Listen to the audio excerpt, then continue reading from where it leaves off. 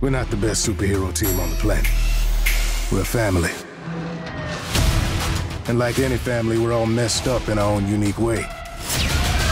We go around saving lives while ruining them at the same time. We will rebuild, Mark. Count on that. Your people must need your strength. I'm sure they got it covered. Behold! Omnipotence! Tremble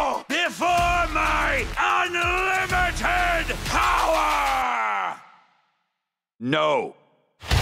Mark, I need you to go to space again. What? I just got back. We got a ship full of those Sequid things coming in hot. If they get their tentacles on Earth, they'll be pulling our strings forever.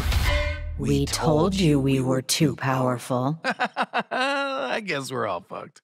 How did a mere moment on Earth turn you into a weak, sentimental traitor?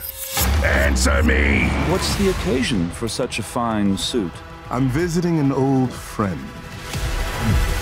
It is good to be home. Die fast, assholes! My pizza's getting cold.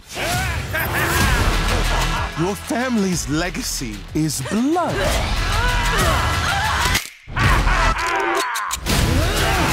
This is over. I'll never let anyone ever, ever hurt my family!